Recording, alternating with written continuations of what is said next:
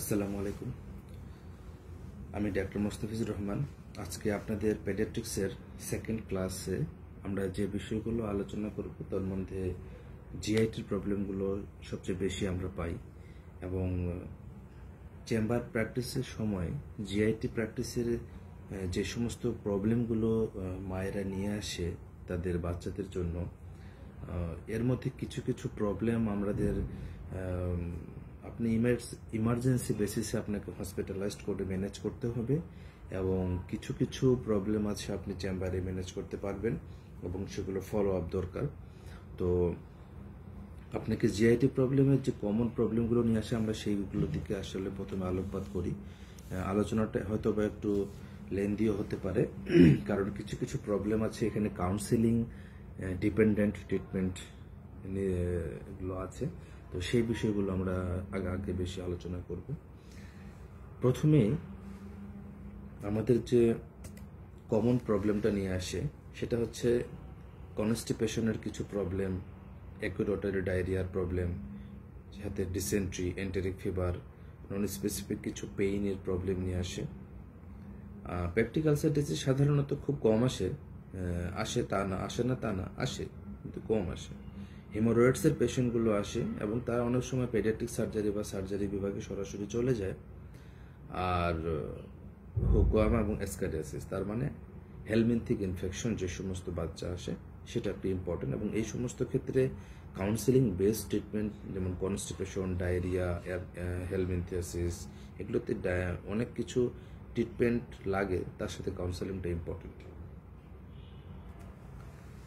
প্রথমে কনস্টিপেশন সম্বন্ধে একটা গদপাথা এখানে কিছু ক্লিনিক্যাল ফিচার আমরা লেখা আছে, কিন্তু আপনাদেরকে এর বাহিরেও আরও কিছু বিষয়ে জানতে হবে। যেমন, একটা প্রবলেম হিসেবে চিন্তা করি, যেমন একটা আপনি চেম্বারে একটা পেশেন্ট যখন আসবে, তো পেশেন্ট আসলে আপনাকে প্রথমে যে কমপ্লেনটা করবে মা যে বাচ্চা খাচ্ছে না, এক নম্বর দুই নম্বর হচ্ছে বাচ্চা পায়খানাটা শক্ত হচ্ছে। তিন নম্বর হচ্ছে মা বলতে পারে, একদিন, দুই দিন, তিন দিন পর পর সে পায়খানা করে ছাগলের নাদি নাভির নাদির দানার মতো, ছোট ছোট দানা দানা দিয়ে পায়খানা করে, অল্প একটু পায়খানা করে বা কষা পায়খানা আসে বা প্রথমে একটু কষা আসে, তারপরে একটু পাত, হালকা সুজির মতো পায়খানা। এই ধরনের কথাগুলো আসবে এবং সেই সাথে বলবে যে মাঝে মাঝে আম যায় এবং সাথে একটু পায়খানার রংটা বিভিন্ন রঙের হয়। এর সাথে এই প্রবলেমগুলো নিয়ে আসবে একসাথে। তো এই ধরনের প্রবলেম নিয়ে আসলে আপনার প্রথম কাজ হচ্ছে আপনি আগে বয়সটা ডিফারেন্সিয়েট করে নেবেন যে আপনার বয়সটা কি ছয় মাসের মধ্যে বাচ্চা না ছয় মাসের পরে। যদি ছয় মাসের মধ্যে মতো কোনো বাচ্চা আসে, বয়স শূন্য থেকে ছয় মাস, তারা এক্সক্লুসিভ ব্রেস্ট ফিডিং এর মধ্যে থাকে এবং এই পেশেন্টদেরকে আপনার অবশ্যই আপনাকে কাউন্সেলিং করতে হবে মাকে যে তাদের সাধারণত কনস্টিপেশন হতে পারে তারা যেহেতু অনলি ব্রেস্ট ফিডিং করছে, কোনো পানিও খাচ্ছে না, এটা একটা কাউন্সেলিং করতে হবে আপনাকে। এটা নর্মাল প্রসিডিউর কিন্তু যদি দেখেন যে তার পায়খানাটা জন্য পেট ফুলে গিয়েছে, পেট শক্ত হয়ে গিয়েছে, বা তার পায়খানার রাস্তাটা আছে কি না এটা আপনাকে লক্ষ্য রাখতে হবে। তারপরে পায়খানার রাস্তা অনেক সময় বন্ধ থাকে, বা পায়খানার রাস্তায় থাকে না। তো অনেক সময় আমরা এই জায়গাটা দেখি না। তো এই জায়গাটা এক্সামিন করে যদি দেখেন যে ওকে ফাইন তাহলে আপনি দেখবেন তার পায়খানা একদিন, দুই দিন পরে হচ্ছে। এটা তো নর্মাল সে তো বুকে দুধ খাচ্ছে, তার অ্যাবডোমেনটা ভালো। সেক্ষেত্রে আপনি তাকে কাউন্সেলিং করবেন বুকের দুধ খাওয়াটা চালিয়ে যেতে বলবেন। সাথে আপনি তাকে যদি মানসিক শান্তির জন্য তাকে একটা আপনি ভিটামিন দিতে পারেন, সেটারও দরকার নেই। কাউন্সেলিং একটা ইম্পর্টেন্ট ইস্যু সেকেন্ডলি যেটা আসে, সেটা হচ্ছে ছয় মাস পর থেকে যখন একটা বাচ্চা বা একশো আশি দিন পর থেকে যখন তার কমপ্লিমেন্টারি ফিডিং শুরু করে তখন তার কনস্টিপেশনের কিছু প্রবলেম শুরু হয়। কারণ বুকের দুধের পাশাপাশি সে বাহিরের খাবারগুলো তখন পরিচিত হতে থাকে। তো বাহিরের খাবারগুলোতে যখন সে পরিচিত হয়, যেমন ডাল খাচ্ছে, সবজি খাচ্ছে, বিভিন্ন ধরনের মাছ, মাংস খাচ্ছে, এই খাবারগুলোতে তার পায়খানা শক্ত হওয়ার একটা প্রবণতা থাকতে পারে প্রোটিন জাতীয় খাবার। এই জন্য এই হিস্ট্রিটা আপনাকে নিতে হবে, সে ফিডিং হিস্ট্রিটা তার কেমন? তারপরে আপনি প্রশ্ন করতে পারেন যে মাকে যে তার দেরি করে পায়খানা হয়েছিল কিনা জন্মের পরে। তারপরে আপনি জন্ডিসের একটা হিস্ট্রি নেবেন। অনেক সময় হাইপোথাইরয়েডের পেশেন্টের জন্ডিসের একটা হিস্ট্রি থাকে। দেরি দেরিতে পায়খানা করার হিস্ট্রি থাকে।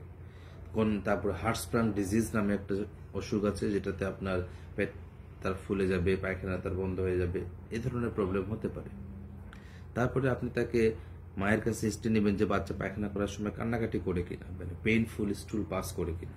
অনেক সময় এটা অ্যানাল ফিশারের দিকে আমাদের টার্ন হতে পারে। তারপরে আপনি বাচ্চাকে মায়ের মায়ের কাছে একটা হিস্ট্রি নেবেন ডায়েট হিস্ট্রি তো অবশ্যই নেবেন।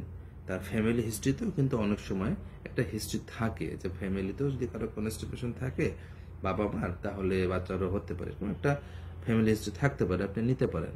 আপনার যদি হাতে সময় থাকে। এবং যে কোনো তার কোনো মাস্কুলার প্রবলেম আছে কিনা কোনো একটা হিস্ট্রি নিবে অনেক সময় সিপির বাচ্চা থাকে ডেভেলপমেন্টাল ডিলে থাকে, বা তার মাস্কুলার স্কেলেটাল প্রবলেম থাকে, সেটা একটা হিস্ট্রি নেবেন এই ওভারঅল হিস্ট্রিটা নিবেন এবং অল্প সময়ের মধ্যে আপনি এটা কাভার করে ফেলতে পারবেন। এটা এমন কিছু না। সেকেন্ডলি আপনি যেটা করবেন এক্সামিনেশন করে পেটটা দেখবেন। যদি সব কিছু ভালো থাকে ফিজিক্যাল এক্সামিনেশন অ্যাবডোমেন ভালো, তার কোনো কনজেনিটাল যে হাইপোথেরোডিজম সেরকম কোনো ফিচার নাই, তার জন্ম হওয়ার পরপরই সে ঠিক মতন পায়খানা করে ফেলেছে, তার অ্যানাল ফিশার নাই, তারপরে তার মাসেল প্রবলেমগুলো নাই ডাউন সিনড্রোমের কোনো ফিচার নাই মাসেল টোন ঠিক আছে। এই সব কিছু যদি যখন ঠিক থাকে দেন আপনি তার সাথে একটু কাউন্সেলিং করবেন যে একটা বাচ্চা যখন পায়খানা শক্ত হয়, তখন কিছু কিছু বিষয় আপনাকে মাকে হিস্ট্রি নিতে হবে এবং কিছু অ্যাডভাইস দিতে হবে প্রথম। প্রথম কথা হচ্ছে যে সে সে যে খাবারগুলো খায়, সেই খাবারগুলোতে তার ডায়েটে তার ফাইবারের কন্টেন্টটা কেমন আছে, এটা একটা হিস্ট্রি নিতে হবে। অনেকে শুধু মেস্ট ফুড খাওয়াচ্ছে, অথবা তাকে শুধু দুধ খাওয়াচ্ছে সেরিয়াল খাওয়াচ্ছে সেরেলাক খাওয়াচ্ছে সুতরাং এই খাবারগুলো যেন একটু কম করে খাওয়ায় বা একটু পরিমাণ মতো খাওয়ায়, সেটা একটা অ্যাডভাইস তাকে দিতে হবে। এবং অনেক মারা আছে যে জাঙ্ক ফুড বাইরের বেশি খাওয়া যারা একটু বড় হয় বাচ্চা, তাদের ক্ষেত্রে সেটা অ্যাভয়েড করতে বলতে হবে। ভেজিটেবল ফ্রুটস তারপরে পালস যেগুলো আছে, দানাদার খাবার যেগুলো আছে, তারপরে আপনার, কলা, এই ধরনের খাবারগুলো খাওয়ার প্রবণতাটা তাকে বাড়াতে হবে। যখন আমরা এগুলো অ্যাডভাইস দিব, তারপরে আমরা বলতে হবে যে বাচ্চাকে যেন পায়খানাটা ধরে না রাখে। কোথাও স্কুলে গেল বা সে বাইরে গেল, সে সাই ফিল করার কারণে যেন পায়খানাটা ধরে রাখছে না পায়খানা করছে না সেই ধরনের যেন না যখন তার প্রয়োজন হবে সেজন্য পরিস্থিতি বুঝে বাথরুমটা সেরে ফেলে। অনেক বাচ্চা, মেয়ে বাচ্চারা, ছেলে বাচ্চারা আছে যে তারা পায়খানা ধরে রাখে। ধরে রাখার প্রবণতাটা তাকে অ্যাভয়েড করতে হবে। এই টয়লেট ট্রেনিংটা তাকে দিতে হবে। এবং এই এডুকেশনটা আপনি বাবা মাকে দিবেন। এই বাবা মাকে দিলে তারা তার বাচ্চাটাকে বাসায় বিভিন্নভাবে তাকে শেখাতে পারবে। এটা একটা ইম্পর্টেন্ট বিষয়। এটাকে উইস্টুল যে উইথহোল্ডিং বিহেভিয়ার এই উইথহোল্ডিং বিহেভিয়ারটাকে তাকে শেখাতে হবে। তারপরে বেশি বেশি দুধ খাওয়া। অনেক সময় অনেক- অনেক বাচ্চাদেরকে খুব দুধ খাওয়ায়। দুধের কারণেও কিন্তু কনস্টিপেশন হতে পারে। পানি কম খাওয়ায়। পানি যেন পর্যাপ্ত পরিমাণে খাওয়ায়। সেই ব্যবস্থা করতে হবে। ফিজিক্যাল অ্যাক্টিভিটির একটা ব্যবস্থা রাখতে হবে। যেমন অনেক বাচ্চা, একটু বড় বাচ্চাদের ক্ষেত্রে বাইরে নিয়ে মাঠে মাঠে খেলাধুলা করবে, তাদেরকে এক্সারসাইজ করাবে। এই ধরনের অ্যাক্টিভিটি করে বাউলের মুভমেন্টটা ভালো হবে। তারপরে তাকে অনেক সময় মায়েরা আছে যে অনেক আর্লিতে এবং ফোর্সফুলি টয়লেট ট্রেনিং করায়। এটা করা যাবে না। তাকে তার প্রয়োজন মতো করে যখন তার বোঝা শিখবে বা তার যখন সে এবিলিটি আসবে, সে অনুযায়ী তাকে বাওয়েল মুভমেন্ট প্র্যাকটিসটা করাতে হবে। আচ্ছা তারপরে কিছু কিছু ওষুধ আমরা দিই বাচ্চাদের ক্ষেত্রে। যেমন মনে করেন যে আয়রন একটা কমন ওষুধ। কিছু বড় বাচ্চার ক্ষেত্রে একটু অ্যান্টিডিপ্রেশন অনেক সময় দিই আমরা। এই ধরনের আয়রন জাতীয় খাবারগুলো বা আয়রন ওষুধ যেগুলো আমরা দিই, তাগুলো অ্যাভয়েড করতে হবে বা কম করে দিতে হবে। কারণ এগুলো কনস্টিপেশন করে। আপনাকে এই হিস্ট্রিটা নিতে হবে। এগুলো খুব অল্প সময়ের মধ্যে আপনি নিয়ে এটা কাভার করে ফেলতে পারবেন এটা কনস্টিপেশনের বাচ্চাকে। বাট অ্যাভয়েড করবেন না। অনেক সময় আপনার আমরা অ্যাভয়েড করে যাই, এটা হতেই পারে। কিন্তু এরকম করবেন না। জাস্ট একটু ফর- দুই, তিন মিনিটের, এক মিনিটের মধ্যে আপনি এটাকে কাভার করে আপনি একটা আপনার লাইনে চলে আসবেন যে আপনি কোন দিকে প্রসিড করবেন। আচ্ছা। এরপরে সাধারণত কোনো ইনভেস্টিগেশন লাগে না এই কনস্টিপেশনের পেশেন্টের ক্ষেত্রে। তো ইনভেস্টিগেশন যদি আমরা করতেই চাই, সেক্ষেত্রে আমরা একটা পেটের এক্স রে করতে পারি ইরেক্ট পোস্টার আর যদি ছোটো বাচ্চা হয়, সে আমরা এপিভিতে করব। তো যদি এক্সামিনেশন ইনভেস্টিগেশন করতে চায়, তাহলে শুধু একটা পেটের এক্স রে আর এক্স রে করার পরে আরও যদি মনে করি তার প্রবলেম আছে, সেক্ষেত্রে আমরা তাকে বেরিয়াম এনেমা এক্স রে করতে পারি। আর হাইপোথাইরয়েড যদি আমরা চিন্তা করি, তাহলে এফটি ফোরটি এসএস লেভেলটা দিতে পারি। আর ডাউন সিন্ড্রোম থাকলে করসপন্ডিং ইনভেস্টিগেশনগুলো আমরা করব। এছাড়া যদি কোনো কিছুই মনে না হয়, একদম সিম্পল একটা কেস সেক্ষেত্রে আপনি কিছুই না করেও ট্রিটমেন্ট দিতে পারেন। অথবা শুধু একটা এক্স রে করেও দিতে পারে। এরপরে ট্রিটমেন্টের ক্ষেত্রে আমি আগেই ট্রিটমেন্টের কিছু অপশন বলে দিয়েছি, যেগুলো অ্যাডভাইসগুলো সেগুলো হচ্ছে এক নাম্বার ট্রিটমেন্টের অপশন যে অ্যাডভাইসগুলো আমি একটু আগে বলেছি, সেগুলো আপনি করবেন। আর খাবারের ব্যাপারগুলোতে কিছু খাবার আমরা অ্যাভয়েড করতে বলি কনস্টিপেশনের জন্য। যেমন মিল্ক এবং মিল্ক প্রোডাক্টগুলো তারপরে সেরিলাক আছে রাইস পাউডার আছে, তারপর জাঙ্ক ফুডগুলো আছে, তারপরে কিছু রেড মিট অনেক সময় বেশি খাওয়ানো হয় চকোলেট এগুলো একটু কম খাওয়ানোর চেষ্টা করবেন বা যতটুকু খাওয়া না খাওয়ালেই নয়। এগুলো কনস্টিপেশন করার জন্য কিছুটা দায়ী থাকে। আরেকটা হচ্ছে কিছু ফুড আপনি বেশি বেশি করে খাওয়াবেন, যেমন শাকসবজি, কলা ফ্রুটস তারপরে চিরা, তারপরে আলু মেস্ট আলুগুলো, তারপরে বাদাম মানে দানাদার যে সমস্ত বিচি কন্টেনিং বিচি আছে এই ধরনের খাবারগুলো খাইলে বাচ্চার কনস্টিপেশনের চান্সটা কমে যায়। আরেকটা কাজ করতে হবে, যখন আপনি তাকে এই যে টয়লেট ট্রেনিংটা করাবেন, সে যদি সেই অনুযায়ী টয়লেট ট্রেনিংটা ইউজ করতে পারে, তাহলে আপনাকে তাকে এনকারেজ করতে হবে এবং রিওয়ার্ড দিতে হবে, পুরস্কার দিতে হবে, তাকে ভালো কথা বলতে হবে, তাকে একটা একটা ছোট্ট একটা গিফট দিতে পারেন টয় বা স্টিকার এগুলো দিতে পারেন, তাহলে হবে কি সে ইনফ্লুয়েন্স হবে সে ইন্সপিরেশন একটা মুভমেন্টে থাকবে যে না, আমি একটা কিছু করতে পেরেছি, আমাকে এইভাবেই করতে হবে। এই যে অ্যাটিচিউডটা এটা অ্যাটিচিউড তাকে আনতে হবে। আর যদি কোনো ওষুধ খেয়ে থাকে সেই ওষুধগুলোকে আপনি অ্যাভয়েড করবেন। আর কিছু ড্রাগস আমরা প্রেসক্রাইব করতে পারি, যেগুলো আমি এখানে যে স্ক্রিনে দেওয়া আছে। একটা হচ্ছে আপনার লেকটুলোস এগুলো আমরা দিতে পারি। এক চামচে তিন দশমিক তিন পাঁচ মিলিগ্রাম করে থাকে। আপনি লেকটুলোসগুলো দিতে পারেন। ইনফ্যান্ট যারা ছোট বাচ্চা, তাদের ক্ষেত্রেও আড়াই থেকে দশ এম এল পার ডে অ্যাভারেজে দিতে পারেন। আর ইস্পাগুলা হাস্ক বলে যেটা আমরা দেখি, সেই ইস্পাগুলা হাস্ক ইসবগুল সেটাও আপনি একটু বড় বাচ্চাদের ক্ষেত্রে দিতে পারেন। একটু সফট করার জন্য যখন দেখব যে তার কনস্টিপেশন অনেক বেশি, পাঁচ, ছয় দিন, সাত দিন পরেও পায়খানা হচ্ছে না। তখন আমরা তাকে লিকুইড প্যারাফিন ইউজ করতে পারি যেন স্টুলটা সফট হয় সফট হয়ে যেন বের হয়ে যায়। সেটা আমরা করতে পারি। আপনার চেম্বার প্র্যাকটিসে আপনি প্রথম কাজটা করবেন সেটা হচ্ছে তাকে কাউন্সেলিং তারপরে ফুড হ্যাবিট তার যে অ্যাডভাইসগুলো দেওয়া সেগুলো দিবেন এবং লেপটুলোস কন্টেনিং যেগুলো অ্যাভোলা কসমোলাক্স পাওয়া যায় সেগুলো আপনি সাজেস্ট করবেন এবং আপনার যদি কোনো কন্ডিশন অ্যাসোসিয়েটেড মনে হয়, আপনি সে অনুযায়ী প্রসিড করবেন আদারওয়াইজ আপনি মাকে কাউন্সেলিং করবেন।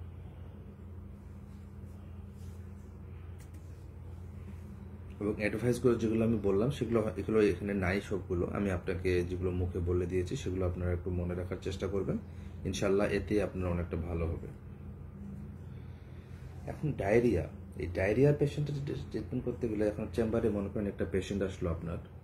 তোমার কিন্তু ডায়রিয়া তো আপনারা জানেন যে ডায়রিয়ার তিনটা ভাগ আছে non dehydration some dehydration severe dehydration আপনার কাছে একটা পেশেন্ট যখন আসবে ডায়রিয়া নিয়ে, তখন দেখবেন যে তার লুজ ওয়াটার স্টুল পাস করছে। তিন দিন বা তিন দিনের চোদ্দ দিনের মতো করে তিন দিনের বেশি আছে কারও কারও চোদ্দ দিন থাকে।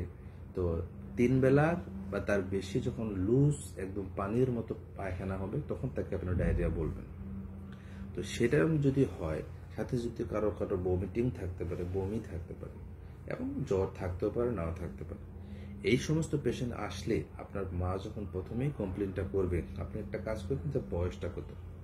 যদি দেখেন তার বয়সটা ছয় মাসের নিচে, তাহলে আপনি মনে করতে পারেন it may be a case of septicaemia কারণ তার ওই সময়ে ডায়রিয়া হওয়ার চান্স কম। ছয় মাসের নিচে সাধারণত আমরা ডায়রিয়া বলি না। এটা সেফটি সেপ্টিসেমিয়ার কারণে তার হতে পারে। তখন আমরা তাকে সেপ্টিসিমিয়ার দিকে চিন্তা করব তার ইনফেকশন স্ক্রিনিং করতে হবে তার সিবিসি একটা করে দেখব তার কোনো ইনফেকশন আছে কিনা তারপরে বুকের দুধ ছাড়া জিঙ্ক প্রেসক্রাইব করতে পারেন আর ওয়ারেস এছাড়া আর কিছুই প্রয়োজন নেই এই বয়সের বাচ্চাদের ক্ষেত্রে কোনো অ্যান্টিবায়োটিকের ইউজ না করাই ভালো কারণ ইরেশনাল এখানে যদি আমরা অ্যান্টিবায়োটিক যেমন সেপ সেপ থ্রি ইউজ করতে পারি এজিথ্রোমাইসিন অনেক ইউজ করে ইরাইথ্রোমাইসিন ইউজ করে তো এই সমস্ত ওষুধগুলো আমাদের ইউজ না করাই ভালো। কারণ এগুলো কোনো কাজ নেই। কারণ এই সময় যদি ডায়রিয়া সাধারণত হয় না সেপ্টিসিমের কারণে হয়। আর যদি আমরা অ্যান্টিবায়োটিক ইউজ করতেই হয়, তাহলে এখানে তো আমাদের ম্যাক্সিমাম বাচ্চাদের ডায়রিয়া হয় ভাইরাসের কারণে, রোটা ভাইরাস দিয়ে। তো এইখানে তো অ্যান্টিবায়োটিকের কোনো রোল নেই। তো আমরা যে ইনভেরিয়েবলি ইউজ করি অ্যান্টিবায়োটিক সেটা আমাদের অ্যাভয়েড করা উচিত এবং একটু কষাস থাকা উচিত। চেম্বার প্র্যাকটিসই হোক আর আমাদের হসপিটাল প্র্যাকটিসই হোক। কিন্তু আপনি যদি কাউন্সেলিং করেন, যেখানে অ্যান্টিবায়োটিকের দরকার নেই, খরচ বেশি হবে, আপনার টাকাটা নষ্ট হবে হ্যাঁ এবং আপনি অ্যান্টিবায়োটিক ইউজ করেন আর না করেন আপনার সাত দিন থেকে দশ দিন সময় লাগবে, তাহলে কিন্তু মা ইনফ্লুয়েন্স হয়, এবং আপনি যদি খরচের ব্যাপারটা সামনে আনেন, তাহলে তারা ইনফ্লুয়েসড হয়, এবং আপনি যদি তাকে বলেন অ্যান্টিবায়োটিক দিলেও কাজ হবে না, তাহলে তো সে অবশ্যই ইনফ্লুয়েসড হবে আপনার কথা কিন্তু তাকে জানাতে হবে ফ্যাক্ট আচ্ছা তারপরে আপনি যদি দেখেন যে আপনি এক্সামিনেশন করে দেখলেন যে তার কোনো ডিহাইড্রেশনের সাইন সিমটম নাই। স্কিন পিন্স তারপরে এপিয়ারেন্স সানকিন আই সব কিছু তার ভালো। বাচ্চা ওয়াইল অ্যালার্জেক্টিভ তাহলে আপনি যদি মনে করেন যে তার সেরাম ইলেকট্রোলাইট ইমব্যালেন্স থাকতে পারে, কেন? কারণ অনেক সময় মায়েরা হিস্ট্রিতে স্যালাইন তারা খাইয়েছে প্রপারলি তারা পানিতে স্যালাইনটা গুলিনি। বা স্যালাইন গুলিয়েছে অল্প একটু পানিতে হাফ প্যাকেট স্যালাইন অথবা এক চামচ পানিতে অল্প একটু স্যালাইন, অথবা দুইশো এম পানিতে পুরা স্যালাইন। এই ধরনের যে তাদের যে স্যালাইন মিক্সিং এর যে প্রবলেমগুলো সেগুলো থাকার কারণে অনেক সময় ইলেকট্রোলাইট ইমব্যালেন্স হতে পারে। সে কারণে আপনি একটা ইলেকট্রোলাইট করাতে পারেন, কারণ তার ভোমিটিং থাকে, পাশে ছবি স্টুল থাকে অনেক পরিমাণে। সেক্ষেত্রে আপনার একটা ইলেকট্রোলাইট ইমব্যালেন্স থাকতে পারে, আপনি করাতে পারেন। আর যদি মনে করেন যে দরকার নেই তার দরকার নেই। অ্যাক্সেসে মানে আননেসেসারি কোনো কিছু ইনভেস্টিগেশন থেকে অ্যাভয়েড থাকাটাই ভালো। এটা আপনার একটা দুনিয়াতে না হোক আল্লাহর কাছে জবাবদিহিতার একটা বিষয় আছে। নেক্সট হচ্ছে নো ডিহাইড্রেশনের ট্রিটমেন্ট যখন আপনি করবেন। নো ডিহাইড্রেশনের ট্রিটমেন্ট করতে গেলে আপনাকে প্রথম একটা জিনিস মাথায় রাখতে হবে যে এটা ট্রিটমেন্ট সাধারণত কাউন্সেলিং এবং হোম ম্যানেজমেন্ট এখানে আপনি হাসপাতালে একটা বাচ্চাকে ইমার্জেন্সি বেসিসে তাড়াহুড়ো করে তাকে পাঠানোর কোনো দরকার নেই। আপনি তাকে জাস্ট কাউন্সেলিং করবেন। এক নম্বর কাউন্সেলিং হচ্ছে, আপনি ডায়রিয়া সাত থেকে দশ দিন লাগবে ভালো হতে, কোনো অ্যান্টিবায়োটিকের প্রয়োজন নেই। আপনি পার্সোনাল হাইজিন মেনটেন করবেন, হাত পা ভালোভাবে পরিষ্কার রাখবেন থালা বাসন পরিষ্কার রাখবেন, বাচ্চা যেন বাচ্চার যদি নখ বড় থাকে, নখগুলো ছোট করে দেওয়ার চেষ্টা করবেন। আর হচ্ছে যেখানে সেখানে হাত দিয়ে যেন মুখে হাত না দেয়, সেই জিনিসগুলো লক্ষ্য রাখবেন। সাথে জিঙ্ক আর ওয়ারেস খাওয়াবেন। আর যদি কোনো বমি থাকে, বমির ওষুধ খাওয়াবেন। এই অ্যাডভাইসটুকু দিলে ডায়রিয়া ট্রিটমেন্ট মোটামুটি হয়ে যায়। আচ্ছা এরপরে আমরা ওয়ারেসটা কীভাবে দিব? ওয়ারেসের দেওয়ার নিয়ম হচ্ছে যে যদি আমাদের কোনো ডিহাইড্রেশন না থাকে, সেক্ষেত্রে আপনার দুই বছরের নিচে হলে পঞ্চাশ থেকে একশো এম এল দেয়। তার মানে হচ্ছে এক চামচে যদি মানে এক চামচ মানে কত? এক চামচ মানে পাঁচ এম এল তো পাঁচ এম এল মানে যদি দশ থেকে বিশ চামচ দেই হ্যাঁ তাহলে পাঁচ এম এল মানে হচ্ছে পাঁচ দশে পঞ্চাশ এম দশ চামচ মানে পাঁচ দশে পঞ্চাশ এম আর বিশ চামচ মানে একশো এম এই এক চামচে পাঁচ এম করে থাকে, সে অনুযায়ী আমরা এক পঞ্চাশ থেকে একশো এম বা দশ থেকে বিশ চামচ দিতে পারি। আর দুই বছরের উপর হলে একশো থেকে দুইশো এম বা বিশ থেকে চল্লিশ চামচ করে আমরা দিতে পারি। প্রতিবার পাতলা পায়খানার পরে। এই অ্যাডভাইসটুকু আপনি দিয়ে দেবেন। অবশ্যই মুখে খাবে, আর স্যালাইন যে গোলাবে, একটা স্যালাইন গরম পানিতেও গোলাবে না নর্মাল কুসুম পানিতে যদি ঠান্ডা হয় আর নর্মাল টেবলের পানিতে একটা স্যালাইন গোলাবে আধা লিটার পানিতে একটা স্যালাইন ফুল পাঁচশো এম এল আধা লিটার মানে পাঁচশো এম পানি আর এক প্যাকেট স্যালাইন এটা ছয় থেকে বারো ঘণ্টা পর্যন্ত রাখতে পারে, এরপর এটা ফেলে দিতে হবে। যদি খাওয়াটা না হয়, যদি রেও রয়ে যায় যে স্যালাইনটা শেষ হয়নি, ওইটা আবার খাওয়ানো যাবে ওটা এই সময়ের পরে আপনাকে ডিসকার্ড করতে হবে বা ফেলে দিতে হবে। এই অ্যাডভাইসটুকু তাকে দিয়ে দেবে নাহলে সে ওইটাই খাওয়াইতে আছে খাওয়াইতে আছে। আর জিঙ্ক সিরাপটা আমরা এক চামচে দশ মিলিগ্রাম থাকে। এটার হিসাবটা আপনি রাফলি করতে পারেন যে এটা আপনি দুই মাস থেকে পাঁচ বছরের বয়স্ক বাচ্চাদের ক্ষেত্রে দিতে পারেন। এটা যদি ছয় মাসের নিচে হয়, তাহলে হাফ চামচ করে দুই বেলা আর ছয় মাসের উপরে হলে এক চামচ করে দুই বেলা দশ থেকে চোদ্দ দিন আপনি ইউজ করতে পারেন। আর একটা বমির ওষুধ দিতে পারেন, যদি বমি থাকে, যেখানে আমরা অন্ডেন সেট্রনগুলো ইউজ করি, এক চামচে চার মিলিগ্রাম থাকে। রাফলি আমরা হিসাব করলে চার বছরের নিচে হলে আমরা point one five milligram per kg বা দশ কেজি বা বারো কেজির বাচ্চা হলে এক চামচ আর তার নিচে হলে হাফ চামচ করে আমরা দিনে দুই থেকে তিন বেলা দিতে পারি। প্যারাসিটামলের ডোজ আপনারা জানেন যে পনেরো milligram per kg per dose আর এক চামচে থাকে একশো বিশ মিলিগ্রাম তো আর প্রত্যেক আট কেজির জন্য আমরা এক চামচ করে দিই। এভাবে আমরা হিসাব করতে পারি তিন থেকে চার বেলা অ্যাডভাইসগুলো আমি আগে বলেছি, যে কথাগুলো আমি অ্যাডভাইস হিসেবে বলেছি। প্রথম দিয়ে কয়েক কয়েকটা পয়েন্ট এগুলো আপনি no dehydration some dehydration severe dehydration সবার ক্ষেত্রেই আপনি অ্যাডভাইসগুলো দিবেন। এবং এটা মাস্ট ট্রিটমেন্ট শুরু করার আগে আপনাকে ডায়রিয়ার এই অ্যাডভাইসগুলো তাকে দিতে হবে।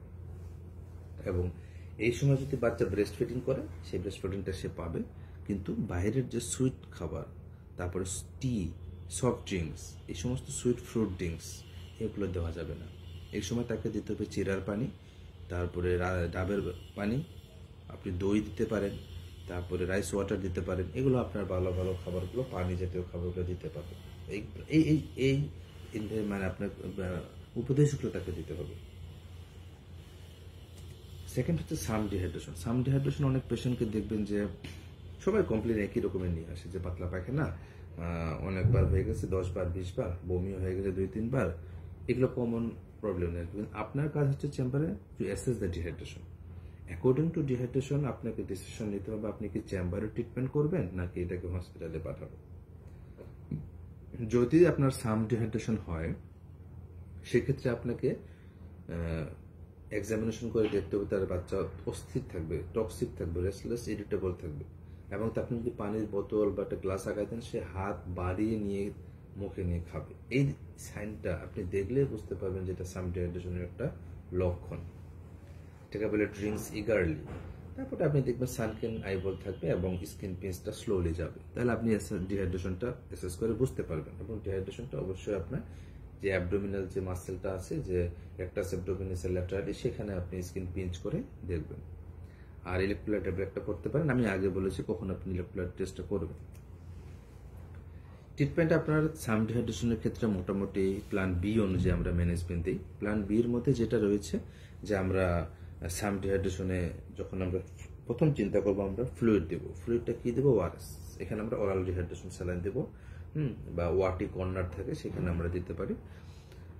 অ্যামাউন্টটা হচ্ছে পঁচাত্তর এম এল পার কেজি করে। এটা কিন্তু ওয়ারেস নট আইভি স্যালাইন পঁচাত্তর এম এল পার কেজি করে আমরা ওয়ারেস দেবো। এবং রুট অফ অ্যাডমিনিস্ট্রেশনটা মুখেই খাব। এবং তাদের ডিউরেশন অফ ডিহাইড্রেশন হবে চার ঘণ্টা। এবং আগেই বলেছে, যখন রিহাইড্রেশন চলবে হ্যাঁ ব্রেস্ট মিল্ক ছাড়া অন্য কিছু খাওয়ানো যাবে না। আর এই সাম ডিহাইড্রেশনের পেশেন্টকে চার ঘণ্টা পরে আপনাকে অ্যাসেস করতে হবে যে তার ডিহাইড্রেশনটা কারেকশন হলো কি না যদি কারেকশন হয়, তাহলে আপনি ওই আগে যে প্ল্যান এ বা সাম নো ডিহাইড্রেশনের ট্রিটমেন্ট দিয়েছিলাম, সেই অনুযায়ী ট্রিটমেন্ট দিয়ে অ্যাডভাইস দিয়ে আপনি তাকে বাসায় যেতে বলবেন এবং কাউন্সেলিং করবেন। আর যদি মনে হয় যে না পেশেন্ট আমার খারাপ হয়ে যাচ্ছে পেশেন্টের অবস্থা ভালো না, তাহলে আপনি হসপিটালে পাঠিয়ে দেবেন। এই রিস্ক আপনি নেবেন। কারণ আপনি বাসায় পাঠিয়ে দিলেন, হঠাৎ করে বাচ্চা খারাপ হয়ে গেল। আপনি মনে করছেন যে এটা হসপিটালে গেলে ভালো হয় আপনি সেটাই করবেন। আর ট্রিটমেন্ট এজ ইউজুয়াল আমি আগের স্লাইডে যেগুলো বলেছি, যে অরাল রিহাইড্রেশন সলিউশন দিবেন জিঙ্ক দিবেন অনডানসেটন মানে একটা অ্যান্টিএমেটিক দিবেন এবং প্যারাসিটামল দিবেন। এটা আপনার কমন সবার ক্ষেত্রে ট্রিটমেন্ট এটা আপনি ইউজ করতে পারেন। বাট প্লিজ অ্যান্টিবায়োটিক দেবেন না। আর অ্যান্টেরোজার্মিনা বলেন, তারপরে ব্যাকটেরিয়া বলেন, যেগুলো আপনার ওই যে প্রোকিডস বলেন, যেগুলো আপনার ওই যে, কি বলে প্রোবায়োটিক্স সেগুলো আসলে রোল নিয়ে কন্ট্রোভার্সি আছে, আপনি দিতে পারেন। যদি তাদের মেন্টাল স্যাটিসফ্যাকশনের জন্য অনেক সময় দিতে পারেন এগুলো আপনি ইউজ করা যেতে পারে।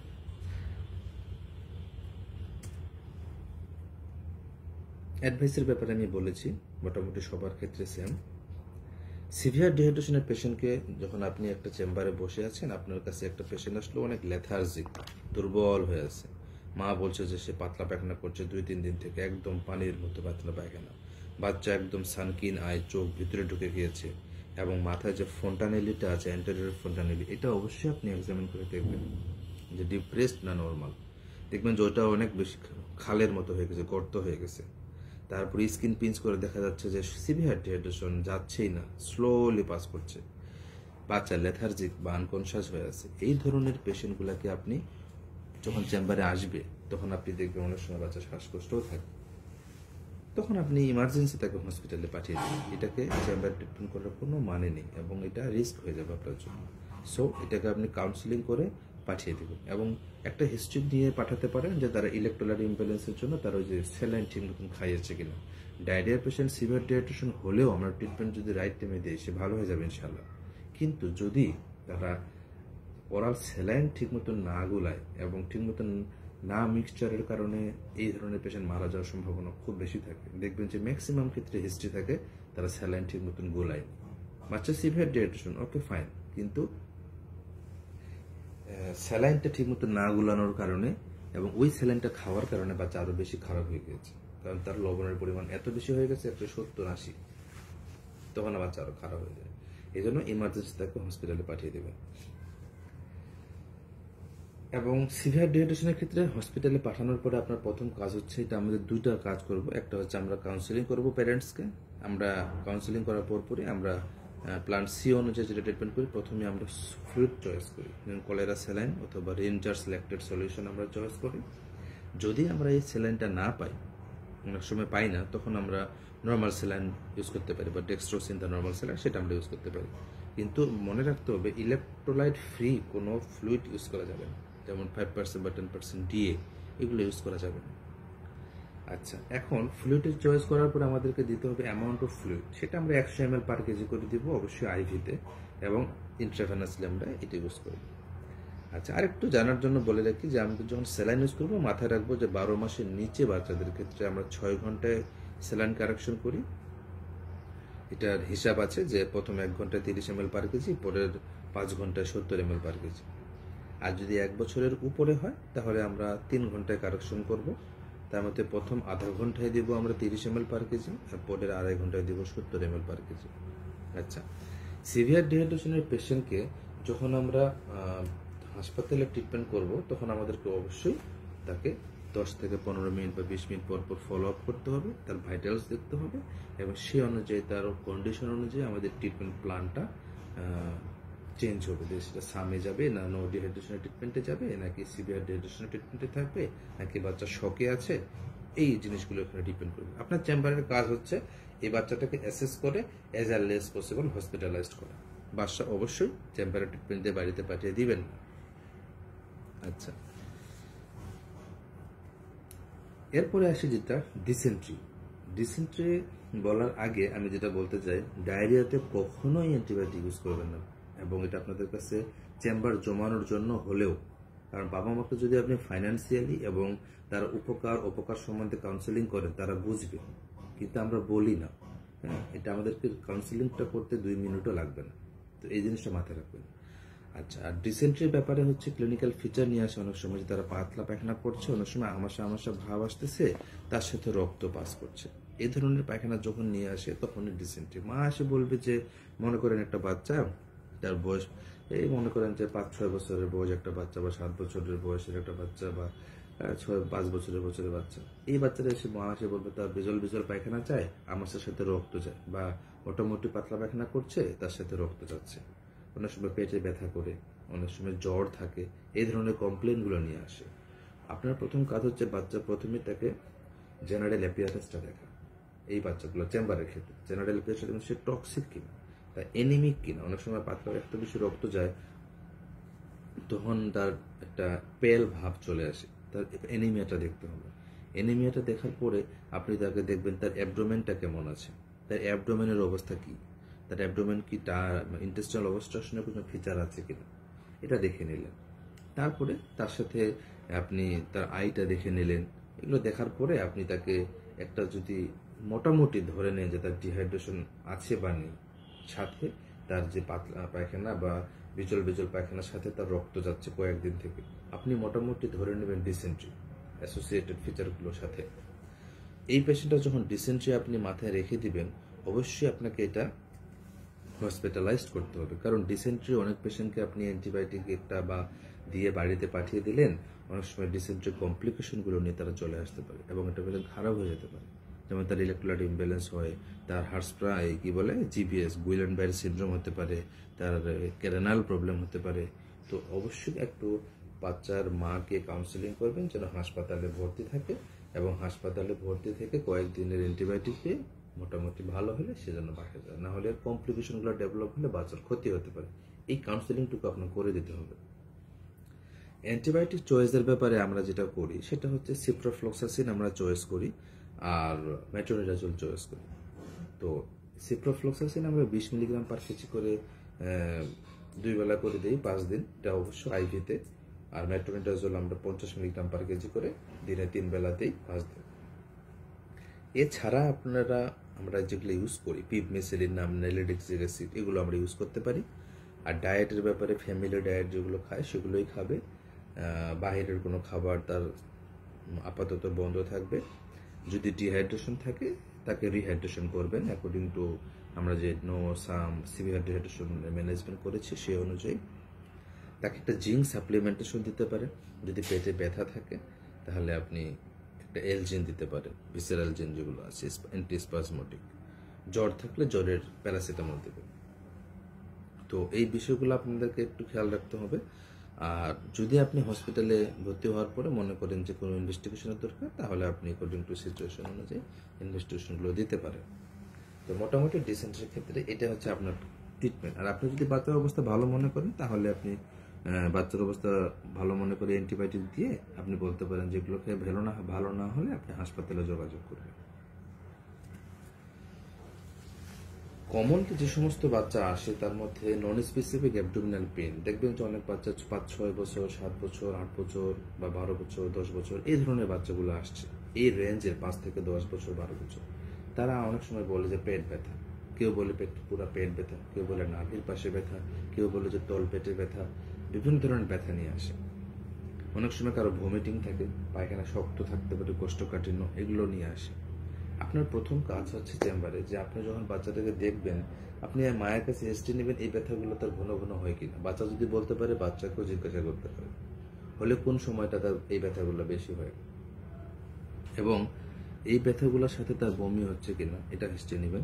এবং এই ব্যথাগুলো একটা স্পেসিফিক সময় হবে। স্কুলে যাওয়ার আগে বা স্কুলে যেতে চাবে না, বা কোনো একটা কাজ করছে, পড়াশোনা সেটা করতে চাবে না, সেই বিষয়গুলো একটা হিস্ট্রি নিতে হবে। এবং মাকে বলতে হবে স্পেসিফিক কোনো কাজ করলে সে আবার ভালো হয়ে যায় কিনা। কারণ অনেক সময় আছে যে তার পড়াশোনা বা স্কুলে যাওয়ার ব্যাপারে সে যাতে চায় না বা কাজটা করতে চায় না, কিন্তু অন্য একটা কাজের মধ্যে মনোযোগ করে দিলে সে আবার পেট ব্যথা জমে যায়। তাহলে বুঝতে হবে এগুলা ফাংশনাল অ্যাবডোমিনাল পেইন বা নন স্পেসিফিক এগুলোর কোনো কারণ অ্যাকচুয়ালি আমরা জানি না। এগুলো কোনো কারণ নেই।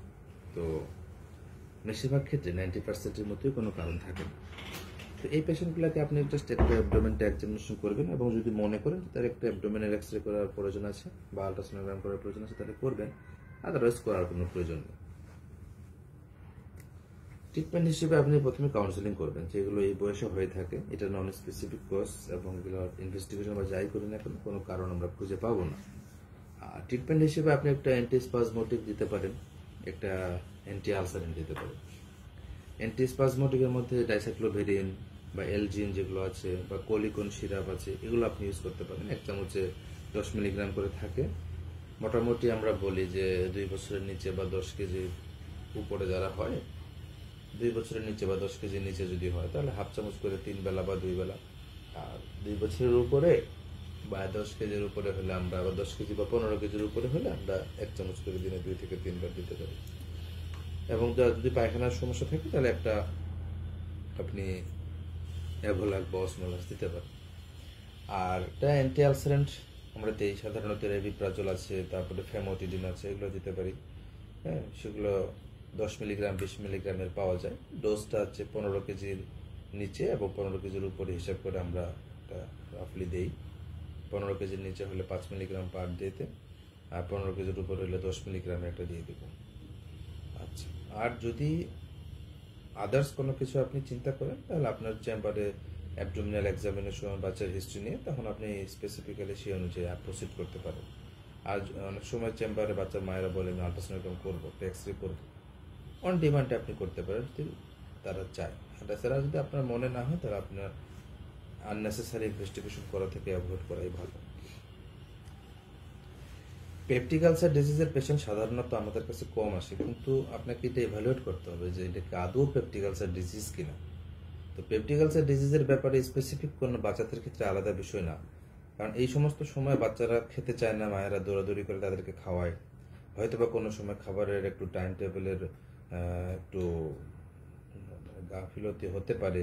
সেক্ষেত্রে যে তার পেপটিক আলসার ডিজিজ হয়ে যাবে খুবই তা এটা একটু বড় বাচ্চাদের ক্ষেত্রে আমরা লুক আফটার করতে পারে যে একটা বড় বাচ্চা হয়তো বা সে স্কুল গোয়িং সাত, আট বছর, দশ বছর, বারো বছর সেই সমস্ত বাচ্চারা স্কুলে যাচ্ছে, তখন তারা ঠিক মতন ফুড হ্যাবিট হচ্ছে না ঠিক মতো, বাইরের খাবার খাচ্ছে বা টাইমলি খাচ্ছে না। এ ধরনের বাচ্চাদেরকে আমরা একটু চিন্তা করতে পারি। তো তারা এসে বলতে পারে তার বারবার পেট ব্যথা, তারপরে তার রাতের বেলা করে ব্যথার কারণে ঘুম ভেঙে যাচ্ছে হ্যাঁ বা অ্যান্টাসিড খেলে ভালো হয়ে যাচ্ছে এই ধরনের কমপ্লেন অনেক সময় নিয়ে আসতে পারে। অনেক সময় হ্যামাটামেসিস মেলে না। মানে মুখ দিয়ে রক্ত বের হচ্ছে, পায়খানা কালো হচ্ছে, এ ধরনের প্রবলেম নিয়ে অনেকে আসতে পারে। তো তখন আপনাকে এভালুয়েট করে অ্যাকচুয়ালি আপনি কিছুই পাবেন না। কিন্তু অ্যাকর্ডিং টু সায়েন্স সিমটম অনুযায়ী আপনাকে প্রসিড করতে হবে either it a case of peptic disease অন্য আর কিছু ইনভেস্টিগেশন তো আমরা করি, যে তেমন স্টুল এক্সামিনেশন আমরা করি, তার ডিহাইড্রেশন স্ট্যাটাসটা দেখি, তার পার একটা এক্সামিনেশন করে দেখি, তার এপিগাস্টিক টেন্ডারনেসগুলো আছে কিনা হ্যাঁ তার অর্গানোমেগালি আছে কিনা, এগুলো দেখে আমরা সিদ্ধান্ত নিই যে আমরা কি ইনভেস্টিগেশন একটা বা দুইটা করে ফেলতে পারি। যে সিবিসি করলাম আর একটা আয়রন প্রোফাইলটা করলাম, এটা করতে পারি। এরপরে আমরা অ্যাকর্ডিং টু সায়েন্স অনুযায়ী আমরা একটা ট্রিটমেন্ট প্ল্যান করতে পারি যে পেপটিক আলসার ডিজিজের যে রেজিমেন্টগুলো আমরা দিই ট্রিপল থেরাপি সেই ট্রিপল থেরাপি হিসেবে আমি স্লাইডটা এখানে তৈরি করে দিয়েছি। স্লাইডের মধ্যে আপনারা দেখে নিতে পারেন যে এখানে প্রথমে আমরা দিচ্ছি অ্যামক্সিসিলিন সব ডোজগুলো লেখা আছে। অ্যামক্সিসিলিন ক্লারিট্রোমাইসিন এবং রেভিপ্রাজল আমরা চয়েস করব এবং এখানে কতটুকু করে দিব, সেটাও লেখা আছে। এবং সেকেন্ড চয়েস হিসেবে আমরা দিতে পারি অ্যামক্সিসিলিন, ম্যাট্রোনিরাজল এবং একটা প্রোটন পাম ইনহিবিটর গ্যাসের ওষুধ। এটা নিয়ে একটা আমরা কম্বিনেশন করে আমরা একটা রেজিমেন্ট দিতে পারি। এই দুটো রেজিমেন্টে যে কোনো একটা আমরা চয়েস করতে পারি। অ্যান্ড থার্ডলি একটা রেজিমেন্ট আছে, সেটা হচ্ছে ক্লারিথ্রোমাইসিন, ম্যাট্রোনিরাজল এবং অমিপ্রাজলের একটা কম্বিনেশন সাথে আমরা সুক্রাল ফ্যাট ইউজ করতে পারি। এই ধরনের ওষুধগুলো আমরা দিয়ে তাকে কাউন্সেলিং করে তাকে আমরা পাঠিয়ে দেবো। এবং একটু খরচ হবে, এটাও কাউন্সেলিং করতে হবে। কারণ প্র্যাকটিক্যালসার ডিজিজের ট্রিটমেন্টের ক্ষেত্রে যে আমরা ওষুধগুলো ইউজ করি, এগুলো একটু কতটুকু খরচ হবে, কয় সপ্তাহ খেতে হবে, এটা আপনাকে একটু বলে দিতে হবে, কারণ তার টাকা পয়সার বিষয় আছে। অ্যান্টেরিক ফিভারের একটা কমন প্রবলেম হচ্ছে আমাদের অনেক বাচ্চাই আসে, পাঁচ দিন, পাঁচ দিনের একটা বাচ্চা আসলো মনে করেন পাঁচ দিনের একটা বাচ্চা গ্রাম থেকে এসছে আপনার জ্বর নিয়ে। প্রায় তার পাঁচ দিন থেকে জ্বর। পাঁচ দিন থেকে জ্বর, শ্বাস তারপরে তার শরীর ব্যথা হ্যাঁ তারপরে তার চোখে ব্যথা, মাথা ব্যথা, তার খাবার খেতে ইচ্ছা করছে না, অনেক সময় পেটে ব্যথা থাকে। হ্যাঁ বিভিন্ন ধরনের মাথা ব্যথা নিয়ে আসে, বডি ব্যথা নিয়ে আসে। তো এই প্রবলেমগুলো নিয়ে আসলো পাঁচ দিনের মধ্যে। আবার একটা বাচ্চা নিয়ে আসছে সাত দিনের পরে, দশ দিনের মতো একটা বাচ্চা। এই দুইটা বাচ্চা যখন আপনার কাছে আসবে, তখন আপনার প্ল্যান অফ ইনভেস্টিগেশনটা পরে। তার আগে আপনাকে চিন্তা করতে হবে যে তার সাইন সিমটমগুলো কি আছে, তার লক্ষণগুলো আমার কি বলছে, এবং তাদের বলার সাথে সাথে আপনাকে মিলাইতে হবে যে, আমার এখন কি কি দেখা উচিত। আপনি প্রথমেই একটা জ্বরের পেশেন্ট আসলে আপনি মুখটা এক্সামিনেশন করবেন, গলাটা।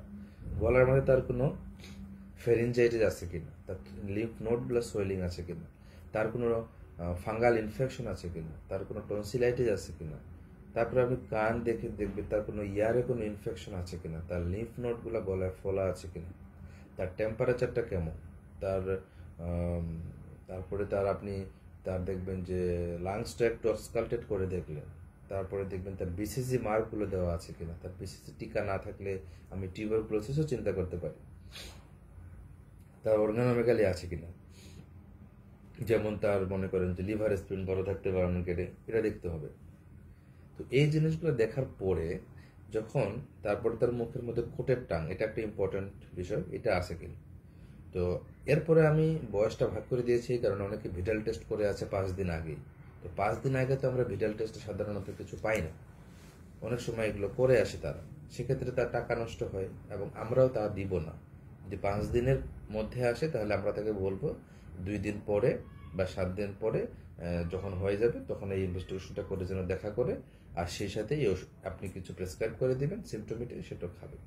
কিন্তু যদি আপনার কাছে সাত দিন পরে বা আট দিন, দশ দিনের সময় আসে, আপনি অবশ্যই ট্রিপল অ্যান্টিজেন করবেন। এখানে আপনার ভিটাল টেস্টের মধ্যে তো শুধু টাইফয়েড আর ট্রিপল অ্যান্টিজেনের মধ্যে টাইফয়েড আছে রিকেটশিয়া আছে, তারপরে বোরেলিয়া আছে, এই ধরনের ইনফেকশন তিনটা একসাথে আমরা টেস্ট করি। যদি টাইফয়েড হয় টাইফয়েডের ট্রিটমেন্ট দেবো। যদি আপনার রিকেটশিয়ার ইনফেকশন হয়, তাহলে আমরা টক্সিকেপ বা আদার্স এজিথ্রোমাইসিনগুলো ইউজ করব। তাহলে একসাথে আপনার তিনটা হয়ে যাচ্ছে। তো এই ইনভেস্টিগেশন প্ল্যান আপনার, আর সাথে একটা সিবিসি করবেন উইথ ইএসআর স্টুল এবং ইউরিন কালচার আপনি করতে পারেন, যদি তার অ্যাসোসিয়েটেড আপনি মনে করেন যে তার কোনো কমপ্লেন আছে, আপনি স্টুল এবং ইউরিন কালচার করতে পারেন, তবে সেটা সেকেন্ড উইকের পরে। টাইফয়েড ফিভারের ক্ষেত্রে একটা বাচ্চা যখন আসবে হাসপাতাল আমার চেম্বারে চেম্বারে আসলে সাথে আপনি যদি মনে করেন যে তার টাইফয়েড ফিভার, সেক্ষেত্রে আপনি ওষুধ লিখে দিয়ে তাকে বলবেন, প্রবলেম হলে আপনি হাসপাতালে যোগাযোগ করবেন। কারণ এক্ষেত্রে আপনার অনেক সময় ইনজেক্টেবল অ্যান্টিবায়োটিক ছাড়া কাজ হয় না। বাসায় মনে করেন যে ওরালি একটা ওষুধ দিলাম, তার জল কমছে না। কারণ আপনি মনে করেন যে টাইফয়েড ফিভারের জন্য আপনার কাছে কমপ্লেন যেগুলো নিয়ে আসছে, আপনি ট্রিপল ইন্ডিজেন করালেন, করানোর পরে টাইফয়েড পজিটিভ হলো পজিটিভ হওয়ার পরে আপনি তাকে অ্যান্টিবায়োটিক দিয়ে বাসা যেতে বলবেন, যদি বাচ্চা কন্ডিশন ভালো থাকে। কিন্তু আপনি সাজেস্ট করবেন হসপিটালে ভর্তি হয়ে ইনজেকশনের ডোজটা কমপ্লিট করা। এবং অবশ্যই আমরা দশ থেকে চোদ্দ দিনের মতো ইনজেকশনটা দিব, এবং এটা বাসায় অনেক সময় সম্ভব হয় না, তাই হাসপাতালে ভর্তি হওয়ার জন্য। আমাদের এখানে অ্যান্টিবায়োটিকের চয়েস হচ্ছে সেফট্রাইক্সন যেটা আমরা একশো মিলিগ্রাম পার কেজি করে দিই দশ থেকে চোদ্দ দিন। আরেকটা হচ্ছে প্যারাসিটামল সিমটোমেটিক ম্যানেজমেন্ট ডোজটা আপনারা জানেন। আর একটা হচ্ছে অ্যান্টিমিটিক আমরা আগে বলেছি জিঙ্ক। এটা দিতে পারি, জিঙ্ক দিতে পারি, নাও দিতে পারি। কিন্তু সেফট্রাইক্সনের ডোজটা আমার কমপ্লিট করতে হবে। আচ্ছা আর যদি পেশেন্টের কোনো আদার্স কমপ্লেন থাকে, তার লিফ নোট সোয়েলিং আছে, তার মনে হচ্ছে এটা হতে পারে যক্ষা তার যক্ষা রোগীর সাথে ছিল কিনা কন্ট্যাক্টের হিস্ট্রিতে তাহলে আপনি যক্ষা বা টিউবারকুলোসিসের জন্য চেস্ট এক্সরে একটা এমটি টেস্ট করে নিতে পারেন। সেটা পজিটিভ হয়ে গেলে আপনার তখন টিউবারকুলোসিসের লাইনে ট্রিটমেন্টটা দিতে হবে। আপনার বাচ্চার কমপ্লেন এবং আপনার এক্সামিনেশন করে আপনার যেটা মনে হবে সে অনুযায়ী আপনি প্রসিড করবেন। তবে আপনাকে এই জিনিসগুলো আপনার মাথায় রাখতে হবে। আরেকটা বিষয় মাথায় রাখতে হবে মোস্ট কমন সেটা হচ্ছে বাচ্চারা অনেক সময় প্রসাবে ইনফেকশন থাকলে বলতে পারে না। সেক্ষেত্রে আপনার একটা ইউটিআই সাসপেক্ট করতে পারেন যদি মনে হয় সাইন সিমটমে আপনি ইউরিন আড়ি করলে দেখলেন যে তার পাস সেল অনেক। মানে এসিমটোমেটিক ব্যাকটেরিয়া থাকে। যে সেল পরীক্ষা করে দেখলাম সেল অনেক, কিন্তু বাচ্চা সাইন সিমটম নেই।